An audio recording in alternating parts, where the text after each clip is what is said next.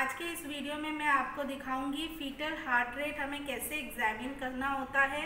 Different presentations हमने देख लिए हैं तो उस प्रेजेंटेशंस के हिसाब से आपको कहाँ फीटोस्कोप रखना है कि आपको फीटल हार्ट रेट मिल जाए। तो ये मैं आपको सिखाऊँगी इस वीडियो में।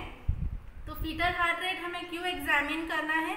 The purpose of examining fetal heart rate is to see the fetal condition the fetal heart rate determines the whether the fetal is compromised or fetal is in the normal condition उसके लिए हमें fetal heart rate uh, करना होता है so the articles required for the fetal heart rate are uh, we require a fetoscope if you have a fetoscope or we can you also use a stethoscope to examine the fetal heart rate तो fetal heart rate के अंदर हमें कहाँ कहाँ position कौन से position में रखना होता है ये मैं आपको बताऊँगी So uh, for the preparation of mother, you have to tell the mother to empty the bladder and come and then you have to make her lie in the dorsal recum position. Then expose the abdominal area, maintain the privacy and light should be also adequate and then expose the abdominal area of the mother and then you start examining and doing the antenatal palpation. Antenatal palpation मैंने आपको पहले की video में दिखाया है।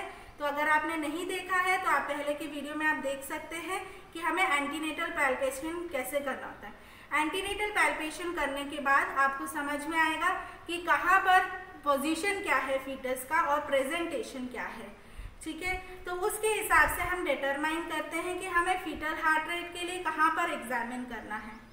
तो fetal heart rate के लिए अगर कैफेलिक प्रेजेंटेशन है और उसमें भी पोजीशन अगर लेफ़्ट ऑक्सीपिटो एंटीरियर है तो ये लेफ़्ट साइड है मदर का। अगर लेफ़्ट ऑक्सीपिटो एंटीरियर है तो जब आप एग्जामिन करोगे फीटस को तो यहाँ पर आपको एक रेगुलर कर्व पता चलेगा और फीटस का बैक आपको पता चलेगा यहाँ पर है। और आपको पता चलेगा कि हेड नीचे की तरफ़ है दैट मीन्स जो है कैफेलिक प्रेजेंटेशन है और पोजीशन क्या है? लेफ़्ट ऑक्सीपिटो एंटीरियर पोजीशन है। तो उस समय आपको फीटोस्कोप कहाँ पर रखना है? आपको फीटोस्कोप रखना है इन बिटवीन तो this side will be the back of the fetus and you will examine here so यहाँ पर अम्बलिकस और इलियक क्रस्ट के बीच में आप एक इमेजिनरी लाइन ड्रॉ कर सकते हैं और उसके मिडिल में आप रखेंगे तो एग्जैक्टली exactly यहाँ पर आपको फीटर हार्ट रेट सुनाई देगा। ये है लेफ़्ट ऑक्सीपिटो एंटीरियर वैसे ही अगर राइट ऑक्सीपिटो एंटीरियर है तो आपको जाना होगा राइट साइड में और सेम मेथड है यहाँ पर अम्बलिकस और इलिया क्रस्ट के बीच में आप एक इमेजिनरी लाइन खींचें और उसके मिडिल में अगर आप प्लेस करते हैं तो ये एग्जैक्ट पोजिशन होगा जहाँ पर आपको फीटल हार्ट रेट मिलेगा। ओके अगर ब्रीच प्रेजेंटेशन है। तो ब्रीच प्रेजेंटेशन में क्या होता है? बटेक्स नीचे की तरफ़ होता है। तो अगर right left sacro anterior position में लेफ़्ट सैक्रो एंटीरियर है तो बैक कहाँ पर है? ऊपर की तरफ़ है हेड ऊपर है, नीचे बटेक्स है।